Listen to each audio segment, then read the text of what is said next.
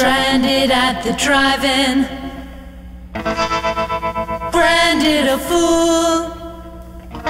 What will they say? Monday